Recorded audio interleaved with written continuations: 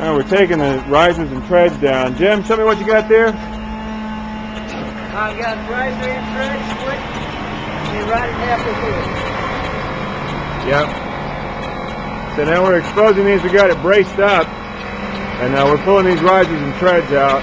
You can see that right there. That's a pretty nasty gap. That's Reese's livelihood. It's gone. Thank you, man. So it's uh, Monday, March 30.